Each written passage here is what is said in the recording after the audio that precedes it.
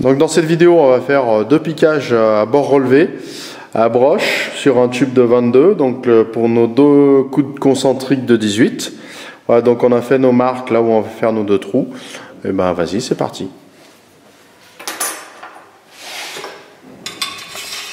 Donc on va utiliser un, on appelle ça un serre-tube, hein, sorte de serre-tube qui va nous permettre d'éviter d'abîmer le tube en cuivre pour faire notre piquage. Donc on va faire un premier piquage.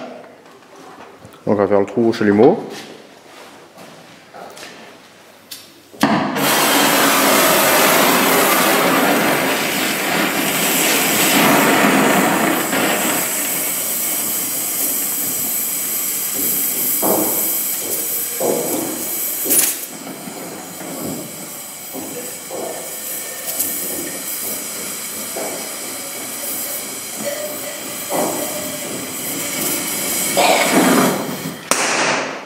Voilà, premier trou. Avec la vrille, on va écarter un peu. Voilà.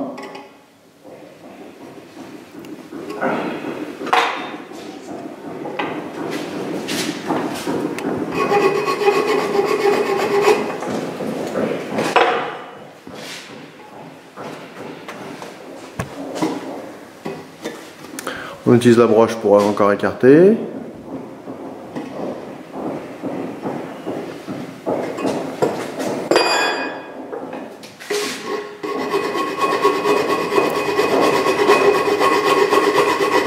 Voilà, donc on a l'essence du piquage. Et là, on va écarter sur les côtés avec la broche. Donc la broche, bah, c'est un fer à béton qu'on a meulé.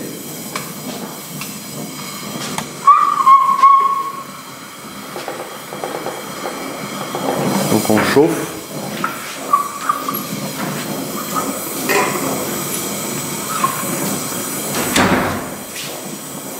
Voilà, pour recuire le cuivre.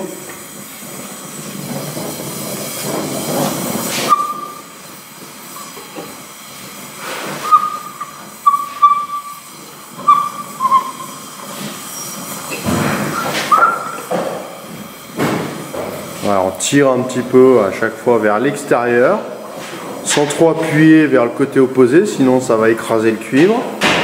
Hein, donc faut bien tirer. Ah, faut plus rien là.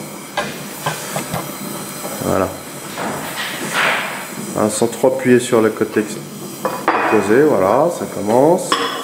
On va prendre une broche un peu plus grosse.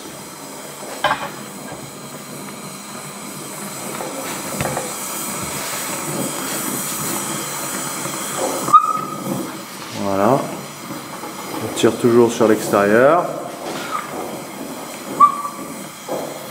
en chauffant. Comme ça le cuivre reste malléable.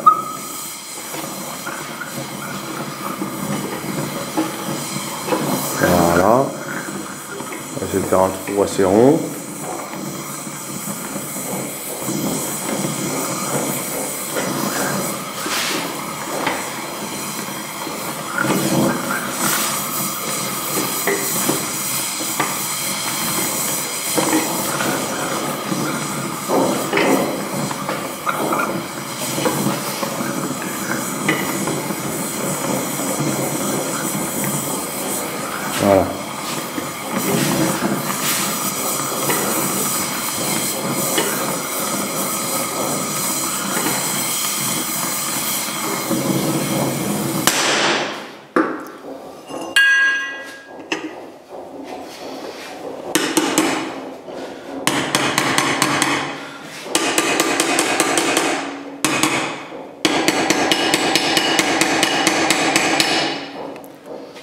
Voilà.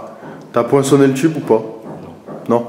Donc on peut poinçonner le tube pour euh, limiter sa course, hein, pour éviter qu'il rentre trop dans le, dans le tube pénétré. Voilà, on le poinçonne comme ça.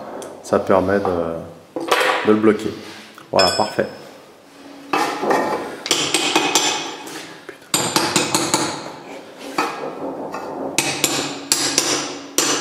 Donc là, ça permet de coller le, le cuivre euh, bord à bord. On met des petits coups de marteau. Et on n'a plus qu'à braser.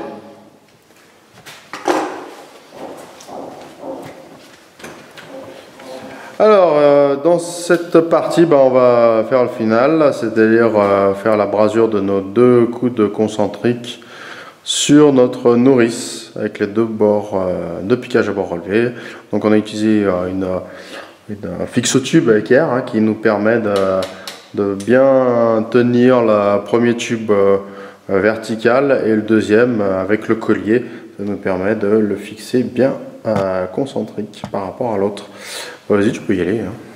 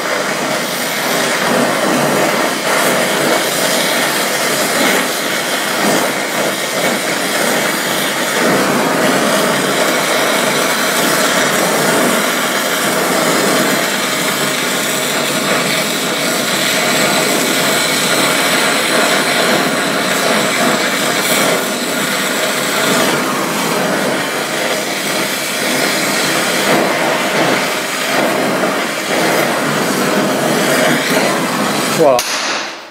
Parfait. Super. Voilà les droits, t'es